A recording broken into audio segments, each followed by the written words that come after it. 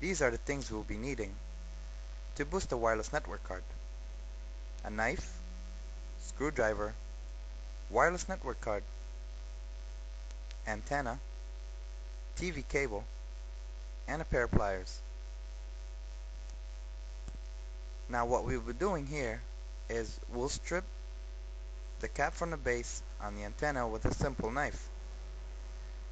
Slowly cut open the cap and remove it from the base of the antenna.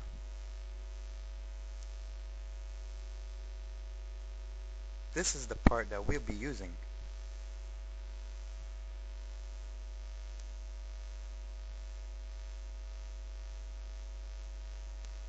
Now, strip the end of the cable with the pliers and as is shown, coil the end of the wire two to three times and leave half an inch or to an inch of straight line at the top.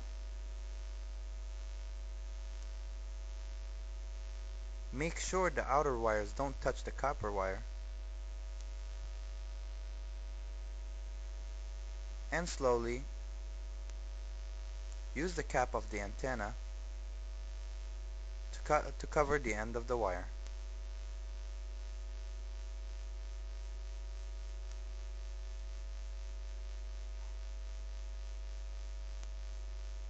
Now you should have something that looks like this.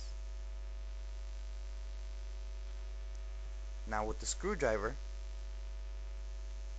use the end part as a measurement and place it next to the wire and coil the end five to six times around the screwdriver.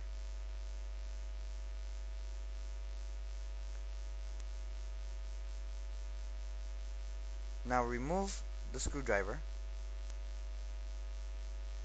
and slowly separate the rings by pulling from each side slowly and keep around half an inch between each ring. Now at the other end of the wire what I did is I attached a head screw that I've got from Radio Shack that fits the wireless network card. Now you can have this wire as long as you want it.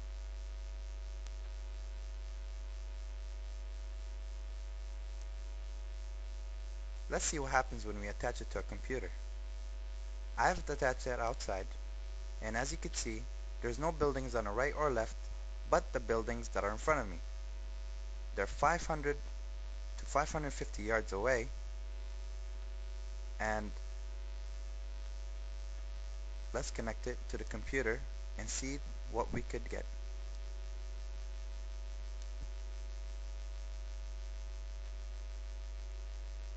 I've used the software WirelessMon